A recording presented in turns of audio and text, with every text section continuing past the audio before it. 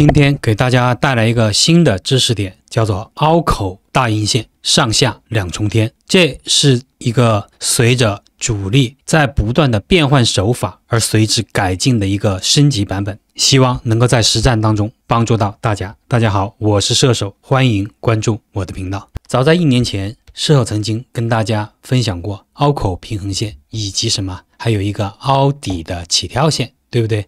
时过境迁，主力啊。它也在逐渐悄悄地改变一些手法，那么我们就应当与时俱进。今天的视频将是动态的修改了这个凹口的平衡线后面的一个新的知识点，叫做凹口的大阴线上下两重天，怎么回事？咱们来瞧一瞧。这个票叫做博士眼镜，它从二十三块零九的一个板枪之后，开始了一路下跌。以前我们有一个知识叫做凹口平衡线上下两重天，是要找那个凹口的大阴。对不对？相信老的朋友应该都记得，但是很明显，它在这一段的当中是没有大音的。关于对于凹口大音，我们是有一个明显的定义的，它就是指的在凹口处啊突然下陷，造成了一个什么长音矮柱的大音。但是大家可以看这一段里面，最多也只有什么中小阴线，而没有大阴，对吧？反而是这个大阴产生在哪里啊？产生在这个位置，所以它并不符合凹口的大阴。这是一个新的手法，但随之什么？它是不是破了这里的底啊？它用了一根什么跌停的大阴砸穿了这个底部，但是对应着这根阴的量能，大家去看一下，请你与前面对比，是不是没有多大的量啊？所以它是真的出货吗？还是更多的是恐吓的一个成分？为什么恐吓？跌破平台，血洗筹码。那咱们现在往后面延伸一点，您看一下后面是不是就挤出了筹码？好，这个不是关键啊。所以的话，这根大阴啊。它就成为了日后一个关键的压制股价上行的阴线。那它呢，不属于凹口的大阴，所以它不是凹口平衡线，所以它叫什么？凹口大阴线。这是主力随着市场的变化而沿用的一个新手法。它是用故意啊，用这个长阴矮柱跌破平台，造成股价下跌的一种手段。其目的就是为了两个字：恐吓，对吧？长阴击破你们的持股防线，造成一个什么破位的下行，看你卖还是不卖。那这种凹口大阴线在很多的票里面都有出现。你看，在这个位置，它既不是凹底吧，也不是凹口吧，对吧？但是它有没有效？它站不稳，就是下跌。好，这个叫做富临运业，您看一下是不是？是不是？对吧？您看一下它后面的打到哪里就明白了。所以这种手法是对应着什么后面才出现的。那我们一旦通过复盘往左看。往前看看牛股的什么前世的时候，我们就要找到这个新的基因，这是一种新改变的手法。好，那我们说回来，它是在很多票里面都存在的。正因为它的存在，犹如一头啊拦路的猛兽怪兽，那么将来股价的上行就必然会受到它的阻挡。它的压力是不可忽视的，因为说白了，这是主力在这里设的一个局。那解开这个局，一定就是他自己，所以它有其存在的什么重要性。不可忽视。我们可以看到，在这个地方其实它是有一根基因次阳的。那这根基因次阳是符合我们基因次阳专项课里面的条件之一。为什么？因为它的当天涨幅有多少？它有十六个多点的一个大阳，因为它是二十厘米的票嘛，三字头。所以从单一的基因来看，那这个基因次阳的质量是可以的，对不对？那按照基因次阳蛰伏什么建仓，那如果进去后面反而就尴尬了。为什么？正是因为这个凹口大阴线的存在。那我们很多学习的这个方法的，如果单纯靠一个单一的基因次阳的基因贸然介入，它就容易上当。为什么？因为这个拦路虎啊，它未经试探，你就别说它过去了，它连试探都没有试探，一旦介入了，那我告诉您，后面就很容易什么由强开始转弱。你说大阳是不是强？那我们去介入，是不是指望着它能够变得更强，对不对？但是往往介入之后会什么？会产生由强变弱的走势，所以它的效果啊就会差强人意，让我们进去之后饱受折磨。这也恰好是什么？部分朋友他留言的一个困惑，就是说，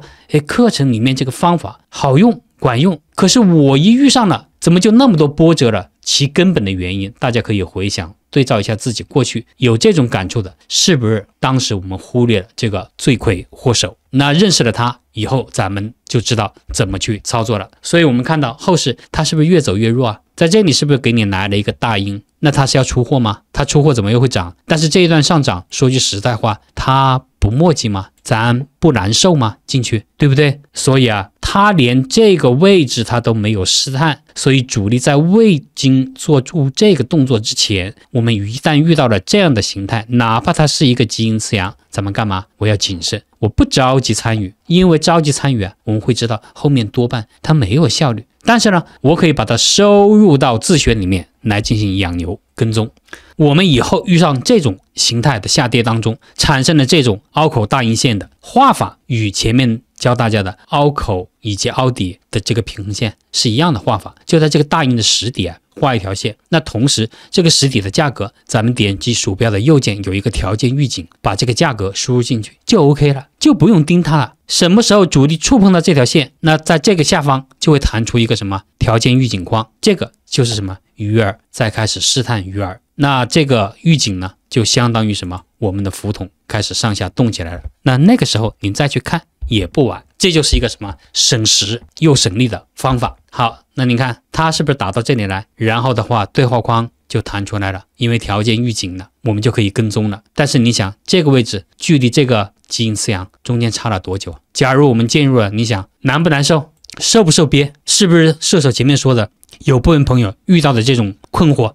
所以啊，这就是我们的什么捕鱼装置的一个预警。好，那紧跟着主力下跌的途中，它来定底，咱们不猜底。那出了次阳过阴半，也就是说过了鬼门关，咱们可以什么试着干？那试着干就是什么试探性的建仓，对不对？这个仓位的东西前面有讲过，我们就不重复了。但是同时呢，是不是我不用着急的重仓？为什么？这个地方是不是一个重大的压力位啊？那不过压力，我是要开始卖阳的。卖阳是为了什么？是为了我的低吸高抛，低吸高抛。等将来打这里的时候，是不是因为我前面的操作，我的成本很低了？成本低了，是不是我到后面去加大仓位？那这个净值的波动相对来说没有那么什么，让我们的心跳加速吧，对不对？所以这就是波段。所以我们按标准进。同时，强压区间就看好了什么？过不去，出了阴，我要学会什么？卖阳，这就是买阴卖阳。好，那您看这个阴的实顶，它是过了二一，我们试着干。那这个实顶站不稳，我可不可以卖阳？那不破鬼门关，我可不可以低吸买阴？当然，我也可以什么不买。那保守者。我们讲过，风险厌恶者，我可以安心等待什么？你出一根次阳，把这根阴盖了，重回它的实顶，咱再干，对不对？再给加仓的机会，这就是根据自己的不同的交易风格来确定的，都可以。关键是什么？你的进退一定都要有标准。好，那后面我们看到了，他就来了一个板，还是一个二十厘米的板。那这是不是为缩量来过了高量？但是这个高量是首次过，它需不需要后市的确认？OK，所以在这个位置是不是就是我们一个盘中加仓的机会？你没有这样前面跟着去做波段，去盯着它，那盘中那还说什么呢？那肯定就错过了。所以啊，炒股我们的关键是在于自己的个人。对吧？你不可能哦，我去开了个会，哎，它就涨停了。那射手有什么办法呢？难道他涨停之前还要打个电话给你，别开会了，赶紧过来买吧？不可能啊，对不对？好，那您看一下它的分时，那这里对应的它的价格，咱们就不多说了，是多次什么给了你一个上车的机会，并且是结合什么我们反复讲的正反分时黄白。二线对不对？好，那我们前面说过，那在这个地方是过，但是它需不需要确认？所以它过，它不是过，要回踩不破，掉头向上，是不是再次加仓？那有很多朋友一直在留言说，老师啊，我一操作我就失败了，然后我就被套了。其实他只讲了话的前半段，老师啊，我一操作我就是重仓，所以。它往下跌，我就只能眼睁睁的看着它跌，因为我的仓位重，看着它下跌啊，我的那个市值缩水很厉害，我又舍不得割，结果它越跌越多，我的市值越缩越多，最后我就成了鸵鸟。只能把头埋在沙子里。那请问一下，他有没有按标准来？那咱们在这个地方有什么试着干，有加仓干，还有加仓干。那您如果一梭子子弹就在这个地方给打过去了，那后面怎么办？遇上的是这种上涨的，那还算 OK，对吧？这就是什么？他想去满仓干或者重仓干的原因。但是如果遇上的不是这样的情况呢？他是这样呢？您有没有想过？好，我把它一割，好，在这里阴线一缩小之后呢，好，再把阳线一出，好，再这样上去了，那我就傻了眼了，对不对？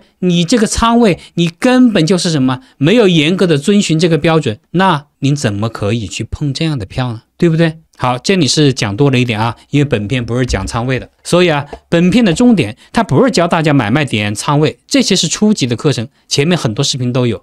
那我们的重点是教大家这个方法，什么方法？叫做自动捕鱼法。当复盘的时候，我们是通过什么复盘？是不是来自于极阴次阳的专项课教你怎么复盘？哦，这个东东是个好东东，它是条件之一。OK，我就观察它，哎，让我往左一看，我发现了这个东东，对不对？凹口大阴，那我就可以画出平衡线，设好预警伏击圈。那么一旦浮标异动预警，我们就可以闻风而动，抢占先机。那这种操作与前面青龙诀里面的效率为王是有异曲同工之妙的。您要学得会，因为什么？优秀的基因让我们可以发现它，发现了这个什么凹口大阴，我就设好什么鱼饵。好，设好了鱼饵之后，这里是不是浮筒预警啊？对吧？它就会弹出什么对话框？那中间的这个时间段，我们可以什么无视它，忽略它，它养在您的自选池里，它又不管您要工资，对吧？好，那这里已经浮筒预警，请问一下，